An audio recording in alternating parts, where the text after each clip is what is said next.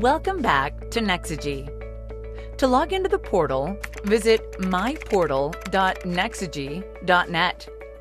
Your office manager should provide your login credentials. Your password is always numerical because it is the same password that you use to retrieve your voicemail.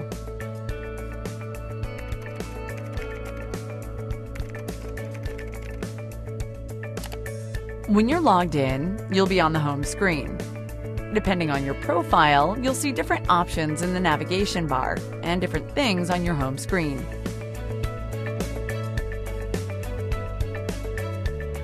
You can log out by clicking Log Out at the top of your home screen, and you'll be prompted to log in again. This is another Nexogy video tutorial. See you in the next one, and thanks for choosing us.